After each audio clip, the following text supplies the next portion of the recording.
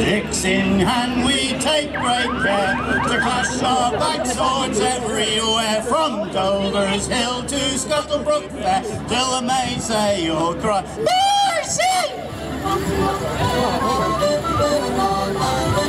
Mercy!